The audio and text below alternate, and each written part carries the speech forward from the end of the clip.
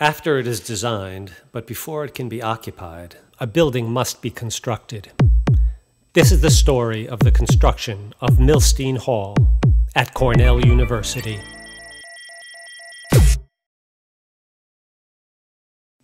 A line drawn around the boundary between the inside and the outside of Milstein Hall would include the basement slab, foundation walls, first floor glazing, aluminum soffit panels, thin marble veneer, second floor glazing, more marble veneer, the green or vegetated roof, and then more of the same coming down on the other side, forming a closed circuit. Such a closed circuit constitutes the building enclosure and actually consists of several critical elements or layers characteristic of modern enclosure systems. These layers, which can be literally separate and distinct or combined in various ways, control the movement of liquid water, gaseous water or water vapor, air, and heat between the inside and outside spaces defined by the enclosure. Thus, we get four control layers an air barrier, vapor retarder, water barrier, and thermal insulation. Each layer should be continuous, since the things being controlled vapor, water, air, or other gases, and heat are continuously present at the building's surface. Control is needed to ensure that the levels or amounts of the things being controlled that are desired inside the control layers are brought about as efficiently as possible given the uncontrollable nature of the levels encountered outside. In practice, many commercial or institutional buildings combine the air, water, and vapor control functions into a single membrane, with the fourth control layer, insulation, keeping the membrane warm so that internally generated moisture will not condense should it reach the membrane's interior surface during periods of cold weather.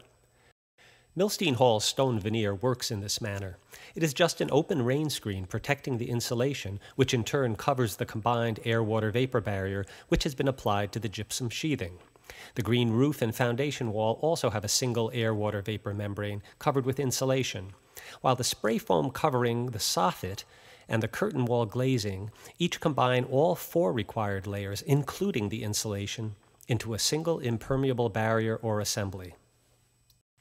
The vertical surfaces attached to or hanging from the structural frame are known as the curtain wall, which is the primary subject of this video. Curtain wall systems also have a more technical definition within the building trades, distinguished by their performance and quality from other glazed walls, such as storefront systems. Here, we use the term curtain wall in a non technical sense, referring to any and all materials and systems forming a vertical enclosure that are attached to, rather than themselves constituting, the building's structural system. Other elements of the building enclosure system, the soffit, stone veneer, insulated slabs, domes, foundation walls, and vegetated roof, are discussed in other parts of this video series. The glazed curtain wall starts with the completion of the structural frame. Here is a sample of the curtain wall framing tees that was delivered to the contractor's trailer. These tees are bolted together, forming a rectangular grid that will support heavy insulated glass panels along their edges. A series of threaded rods are welded to the faces of these tees. These engage and support the curtain wall system. When the weather gets cold during the construction process, plastic sheets are placed between the vertical tees. Here we can see the temporary wooden frames that hold the plastic in place. From the inside, the angles that hold the tees together and tie them to the structural frame can also be seen. In preparation for the glazing, a special metal section is fastened onto the threaded rods that were welded to the tees. This metal already holds rubberized gaskets that will create a seal between the glass and metal, as well as cushioning the glass so that it can be tightened against these supports without cracking. Let's go outside through this temporary door designed not by the architect, but by carpenters working for the contractor. We're looking up at the curtain wall of Milstein Hall being constructed the structural tees are in place, and uh, the next step is to put the glass in there. The glass panels arrive ready to be lifted into place. They consist of three glass layers. The two interior layers are actually laminated together. Then there is an airspace, and then the third layer of glass. A metal channel is glued to the inside surface of the laminated layers. The glass is not held in place by conventional mullions. Instead, it will be clipped into place by metal tabs inserted into these channels. The glass is hoisted into place with these vacuum lifters. Then workers position the glass and make the final attachments using metal tabs inserted into the glazing channel and bolted into the same metal strips that contain the gaskets. From the inside, one can see the structural tees, the gasket, the metal channel glued to the laminated glass, and then the glass itself. From the outside, all visual evidence of the curtain wall's elaborate fastening system is covered with a sealant joint. At this angle, viewed from Sibley Hall, the glass becomes quite reflective, and it appears that the sealant is being applied from both the outside and inside simultaneously by highly coordinated twins. The finished sealant joint appears as a black vertical line between the glass panels. Meanwhile, horizontal bands of stainless steel flashing are fastened at the top and bottom edges of the sheathing. A cold applied self adhering membrane consisting of a 3 mil high density cross laminated polyethylene film coated on one side with a 22 mil layer of rubberized asphalt adhesive, is used as another flashing material to connect the air water vapor barrier not yet installed to the stainless steel. Once the sprayed on air barrier is applied to the sheathing and a sealant joint is applied between the glazing and the stainless steel flashing, the air barrier system will be perfectly continuous. The detailing to accomplish this continuity is a bit complex, so let's examine a schematic detailed section to see how it works, taken at the edge of the studio floor. The actual construction may differ just a bit, but this will provide a pretty accurate picture. Start with the steel structure with its outriggers and a substantial structural angle forming a pour stop for the concrete that is cast into a corrugated steel deck. Then weld the steel studs to this angle and screw in the sheathing to the studs. Next, attach the structural tees which act as supports for the glass. These tees are joined together by steel angles that are in turn welded to the steel angle forming the slab edge. They have threaded rods, like small bolts, welded to them. Let's look at this connection in three dimensions to see the elements more clearly. The vertical tee and the horizontal tees at floor level are connected with clip angles. The clip angles are welded to the metal pour stop. The green surface is the air barrier applied to the sheathing, and this is one of the threaded rods welded to the vertical T. These rods accept the metal screw plate with integral rubberized gaskets to which the glazing channel is attached. So here's the glazing with its glued on channel. Metal tabs inserted into this channel are screwed into the screw plate with its integral channel, like a miniature unistrut, to actually support the heavy glass panels.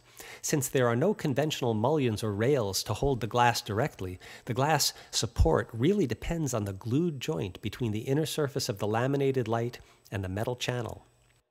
At this point, it becomes possible to install the air-water vapor barrier. We'll refer to it from now on as just the air barrier. First, stainless steel flashing is attached from the glass down to the sheathing. Self-adhered rubberized flashing tape is then applied to connect the stainless steel and the sheathing surface. Finally, a two-part sprayed-on product is applied to the surface of the gypsum sheathing, also covering the rubberized flashing. But to make this truly continuous, the flashing must be connected to the material it seeks to join. So, first a backer rod is inserted, and then a sealant is applied between the stainless steel flashing and the bottom of the glass. The air barrier is now continuous. The ground level glazing is at once more complex in its geometry, but more conventional in its construction. Up at the soffit, we can see how a steel stud partition is hung from the structure above in order to provide a top surface to which the mullions for this glazing can be attached, but also to provide a wall surface on which sprayed foam insulation can be applied so that the thermal barrier can be made continuous from the horizontal soffit to the glass itself. Here you can see how sloping mullions are attached with clip angles to the top surface and then again at the bottom. Where mullion attachment must be hidden, extruded aluminum sections are screwed into the vertical sections around which horizontal aluminum rails can be inserted.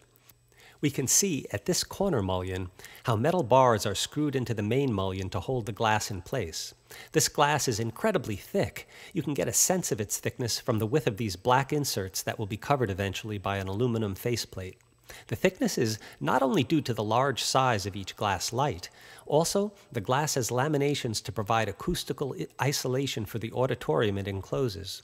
Where the glass is installed at the lobby on the other side of this wall, it need not be acoustically isolated nor as thick. Here we see a worker creating sample aluminum cover plate conditions at the lobby corner to try to match the thicker condition at the auditorium side while maintaining the same apparent profile. After the glass is in place, lighting fixtures are built into the mullion profiles on the exterior side. One is already damaged and will be replaced. Here we see metal guards being installed in front of the sloping glass after the building is already occupied. The guards were not specified in the original design, even though required by building codes and ADA guidelines. Other guards under the concrete dome were also either extended, like this one, or added as afterthoughts, long after the building was initially occupied. And like those interior guardrails, the guards at the ground level glazing were found necessary to protect humans from injuring themselves by coming into direct and unintended contact with this work of architecture. Such are the potential conflicts between the subjective formal idealism of Milstein Hall and the need for accessibility and safety in the actual world.